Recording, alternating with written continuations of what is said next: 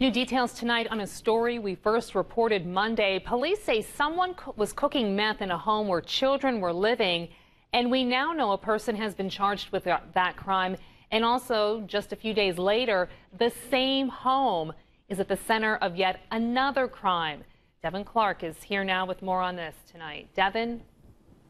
Well, Jen, police say that it all started on a Tuesday more than a week ago in Brookville. Jefferson County court reports show that a man called police to his own home to report that another man was operating a meth lab inside.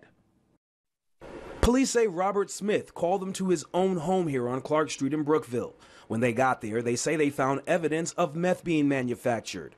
What's more is that court documents say this illegal drug activity took place while two children, ages four and five, were inside the home. Neighbors are outraged. Idiots. I mean, really, why?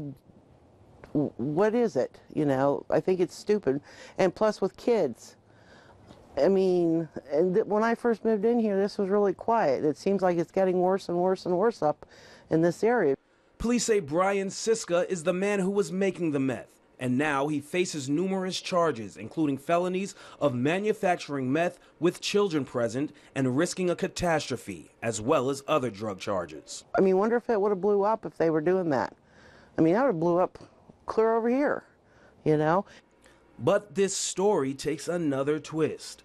Four days later on this past Saturday, police are called back to the same home this time, it's Robert Smith who's arrested.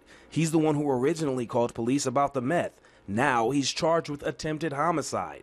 Brookville police say he stabbed another man in the neck during a fight. Actions Phyllis Park, who lives next door, says seems to be out of Smith's character.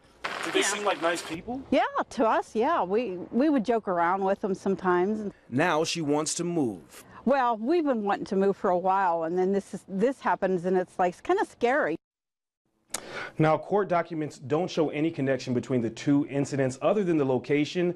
Now, the man who was allegedly stabbed has been treated at a nearby hospital. I'll stay on top of this story as more information becomes available. For now, reporting live, Deven Clarke, 6 News.